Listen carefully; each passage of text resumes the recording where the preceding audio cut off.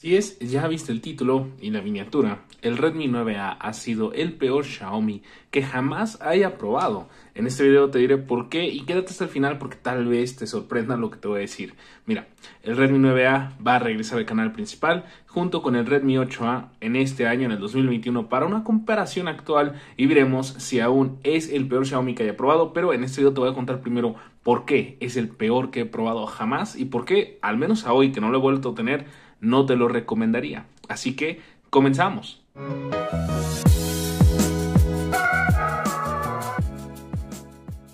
Primero que nada les voy a dar un poquito de contexto en cuanto al dispositivo. Ya están viendo algunas capturas, eh, estarán viendo capturas de las especificaciones comparadas, ¿no? El 8A contra el 8A Dual, que es el que más o menos puedo conseguir aquí en Mercado Libre México. Entonces irán pasando, pero a la vez te voy a ir contando mi historia con este fatídico dispositivo. ¿Por qué? Pues porque al final te contaré, ¿no? Eh, yo lo compré en el mes de julio del año pasado, ¿no? Tenía poco de haber salido, como un mes, dos, dos semanas, algo así. Me costó unos 2.800 pesos, tengo capturas, se las pondré aquí de cuando lo compré, eh, más o menos 150 dólares al cambio, ¿no? Aproximado. Y pues por lo que pagué en ese momento me podría haber llevado un Redmi 8A o un Moto G7 Play. Ambos son mucho mejores equipos que el Redmi 9A, insisto. Eh, ¿Y eso por qué? Pues porque no lo he vuelto a tener, ¿no? Entonces, por eso te digo estas cosas. Obviamente, cuando llegue al canal, si lo pruebo y veo que está mejor, pues cambiaré de opinión. Pero por ahora puedo decirte que esos equipos son mejores que el Redmi 9A. Bueno, decidí comprar el Redmi 9A dado que ya había probado todos los equipos eh, de Redmi, desde el 6A hasta el 8A. Entonces, vamos, se consideró que era parte de, de, traer toda la serie al canal. De hecho, tengo aquí las cajas porque es cuando estos los vendí, les dije a las personas que se los vendí que por favor me dejaran las cajas porque quería yo tenerlas, ¿no? Entonces, he tenido prácticamente todos los equipos de la serie a que han salido. Así que de que conozco de esta serie, la conozco. De que sé de qué va, sé de qué va. Sé que son equipos de gama de entrada, sé que es lo más barato que ofrece Xiaomi. Pero por lo regular, cada que había un cambio de generación, te ofrecían más. Entonces, eso es lo que se esperaba, ¿no? Así que dije, ok, el Redmi 9A se supone que va a ser un dispositivo que, que vamos, que más le puede agregar al Redmi 8A en la gama baja para que sea un super equipo por el precio bajo, ¿no?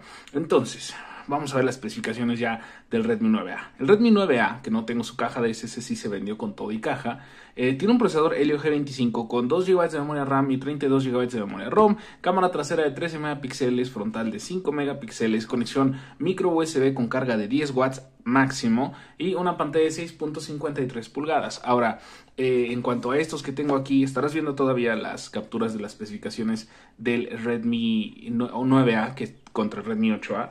Este, el Redmi 6A era un quad-core, Redmi 8A ya cambió un octa-core y agregó más batería. Sí, este agregó los 4000 mAh de batería y un mejor procesador. Este tenía un quad-core nada más y solo 3000 mAh de batería. Aquí hubo una eh, mejora sustancial en potencia y en batería. Después al Redmi 8A hubo una leve mejora en eh, batería, otros 1000 mAh. Se le puso micro USB, se le puso muchas, muchas cosas, ¿no? Entonces, de generación a generación había ido muy bien.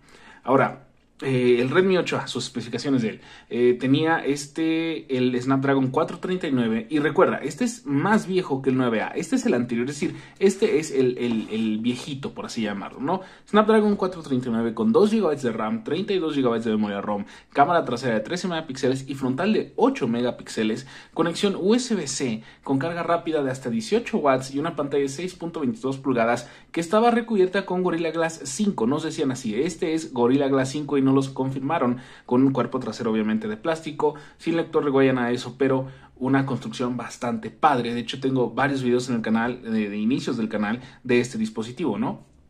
Y ahora creo que no hay que ser un genio para ver que la generación anterior, o sea, el 8A, es bastante mejor que el nuevo, que el 9A. El Redmi 9A es, y lo repito, un triste capítulo en la historia de Xiaomi. Es la única vez que yo recuerdo donde el equipo más viejo es más calidad-precio que el nuevo, en especial porque en ese tiempo valían lo mismo, ¿no? O sea, costaba igual el 9A que el 8A y el 9A era un retroceso, es terriblemente retroceso hecho del 9A hacia el 8A. Te insisto, recomendé, dije, ok, si vas a gastar tu dinero, gástalo en el 8A, el 9A es malo, no te lo recomiendo para nada. Entonces, ahorita te voy a explicar ya en cuanto a traerlos al canal. Mira, hace ya casi un año desde que tuve el Redmi 9A, entonces muchas cosas han cambiado, ¿no? Xiaomi le ha lanzado más que nada actualizaciones y debido a eso, revisando el video inicial donde dije que el Redmi 9A era malo y el Redmi 8A es el bueno, recibo muchos comentarios día a día, ¿no? Donde me dicen que su equipo va perfecto, que es una joya por el precio y yo sinceramente no lo creo. Yo insisto que por ese precio un 8A, bueno, 10 dólares más ahorita, ahorita te cuento eso, el 8A creo que sigue siendo mejor y que el 9A es una mala decisión de compra. Entonces, voy a comprar a ambos, tanto el 8A como el 9A, aunque creo que solo podré conseguir el Redmi 8A Dual, pero no sé si es el, el sí, el de doble cámara, no, si no me equivoco.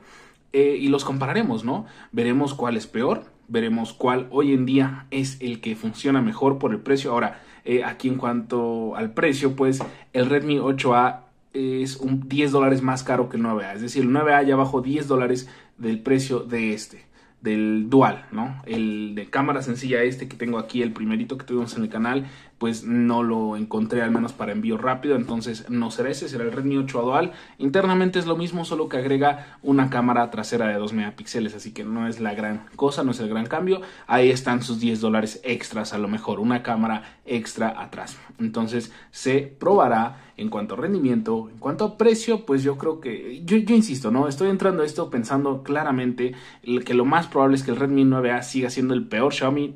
Es más, espérame con esto y escúchalo.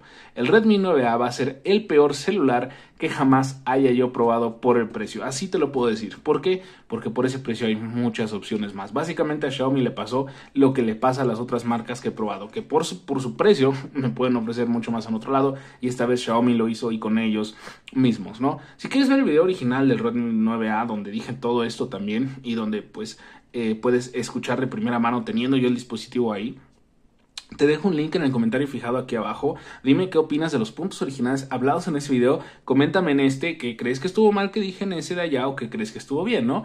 Eh, y pues atento al canal porque probablemente en el transcurso de esta o la siguiente semana ya tengamos estos dos equipos aquí, tanto el 8A dual como el 9A, insisto. Es lo mismo, solo que agrega una cámara trasera. Suscríbete si aún estás suscrito para que yo les pueda traer más y más y más equipos cada vez más y mejores como este MIDI, este 5G, el primer equipo de gama alta gama alta que tenemos aquí en el canal, cosa que se ha logrado gracias al apoyo de todos ustedes. Entonces, suscríbete para que podamos seguir trayendo más equipos, la nueva familia Poco, los que faltan de la serie Redmi Note. Eh, también dale like a este video, se ayuda muchísimo a que YouTube lo comparta. Y si tienes un Redmi 9A, no te estoy diciendo que hiciste una decisión tonta o que compraste mal. A lo mejor en su momento te lo ofrecieron en plan o era, era tu única opción, no había otro en la tienda. Pero si estás decidiendo entre el 9A u otro, espérate a que los tenga para que podamos ver los dos juntos. No, insisto, estoy abierto a que si con las actualizaciones funciona mejor, pues vamos, se dirá, el Redmi 9A ya mejoró. Un año después el Redmi 9A es la mejor opción de compra en ese precio. Si aún no lo ha hecho, pues seguiré diciendo que el 8A es mejor. Muchas, pero muchas gracias en verdad a los miembros del canal. Ellos apoyan mes a mes este proyecto y estamos viendo sus nombres ahorita mismo en pantalla. Gracias al apoyo que da el canal. Muchísimas, muchísimas gracias en verdad. Si también quieres apoyar el canal, aquí abajo está la opción de volverte miembro del canal. Dale click y también vas a salir en las dedicatorias de los videos. Es todo. Nos vemos muy pronto con más videos aquí en Dertec TV.